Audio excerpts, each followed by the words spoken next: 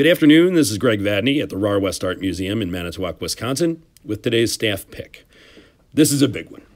Uh, we continue with our theme of spring, and I'm going to go with what is our most famous piece of art by arguably Wisconsin's greatest artist. With apologies to Frank Lloyd Wright and others, I'm talking, of course, about Georgia O'Keeffe and her painting, Birch and Pine Tree Number Two. This, this painting could have been any one of our members' staff picks, but since I'm the director, I get to exercise my executive authority and be the guy to tell you about it. The Rahr West acquired Birch and Pine Tree Number Two in 1990. It was the last and most significant purchase that Ruth West made for our museum.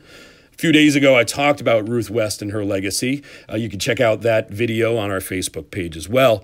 And perhaps no single piece of artwork in our collection better illustrates her mission to bring the best artwork to Manitowoc than this painting, Birch and Pine Tree number two.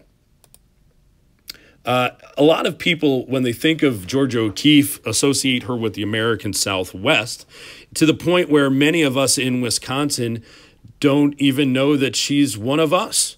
Uh, the truth is that Georgia O'Keeffe was born right outside of Sun Prairie, Wisconsin in 1887, and she lived there for most of her childhood. Our painting, however, was painted neither in Wisconsin nor in the Southwest. It was painted in upstate New York.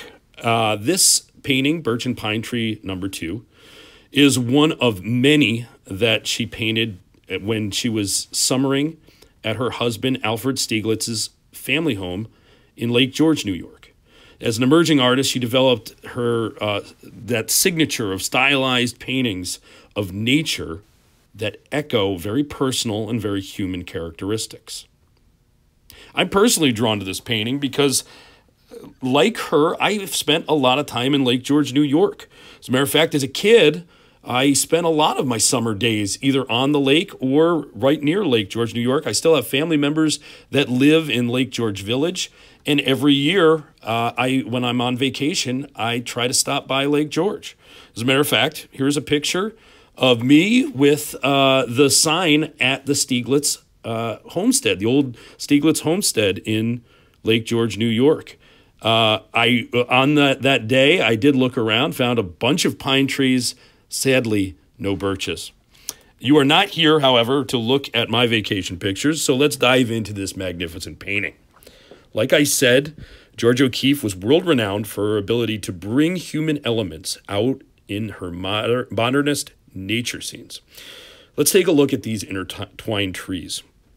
The white birch in the foreground, it's got a pronounced curve to it, calls to mind almost like a human quality, like joints, bones, limbs.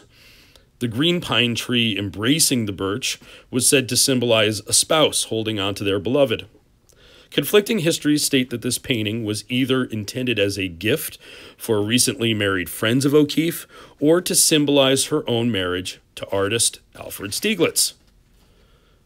But what's the deal with number two, Birch and Pine Tree number two? There are, in public collections, actually three O'Keeffe Birch and Pine Tree paintings.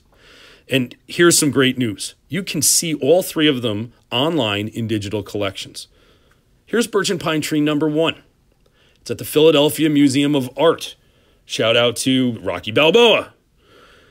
As you can see, the background is darker blue than the rose background of our birch and pine tree number two. It's a little bit darker painting.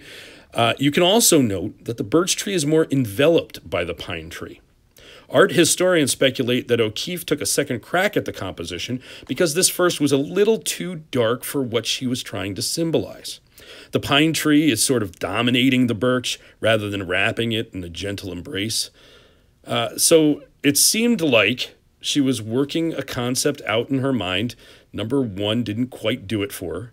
And I'll note that both of these paintings were created in 1925. Guess what? There's a third painting also done in 1925.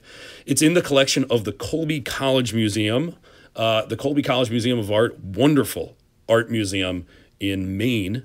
Uh, and this is entitled Birch and Pine Trees Pink. You can see it is a much more modernist looking painting, almost cubist, and the rose color is much more pronounced in its foreground. Uh, to me, it looks actually like a stalk of rhubarb. Sorry, Georgia. Uh, your preference in these three might vary, but personally, I'm really happy we ended up with number two.